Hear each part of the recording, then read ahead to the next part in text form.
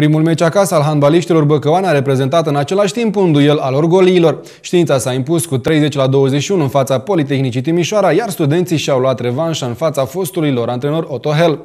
În timp ce acesta a dat vina pe arbitraj, jucătorii care anul trecut au lustruit banca de rezerve sub comanda sa i-au demonstrat cât de mult a greșit, neacordându-le încredere în campionatul precedent.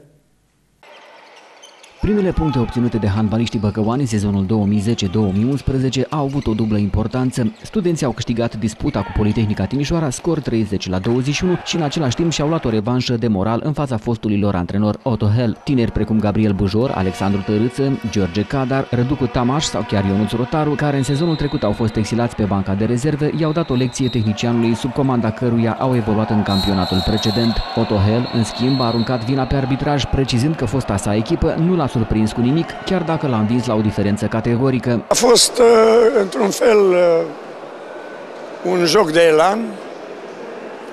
Uh, au, s-au apărat, dar vis-a-vis -vis de corectitudine aici n-am căderea să spun, adică vis-a-vis -vis de reglementări eu n-aș fi, de n-aș fi fost de acord. Deci foarte greu l-a dat și pe al treilea la ăla și ăla cu o fază înainte merita treaba asta. Dar mă rog, asta e. Ei au fost observatorii, treaba lor. Ei decid ce, de ce a fost. În afară de faptul că, cum zic, că s-au apărat mai tare ca noi și au câștigat mai multe mingi pe contraatac, aici s-a făcut diferența. Domnul profesor Hel, poate ochiul dumnealui mai avizat, a văzut așa ceva.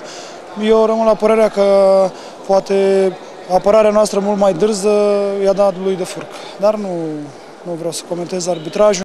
Meciul cu Politehnica Timișoara a fost urmărită din tribune de un alt jucător care ar fi fost super motivat să joace la reîntâlnirea cu Otohel, Marius Bondar, golgheterul științei, a venit la sală cu piciorul în gips, aflându-se încă în perioada de recuperare după o accidentare suferită în intersezon.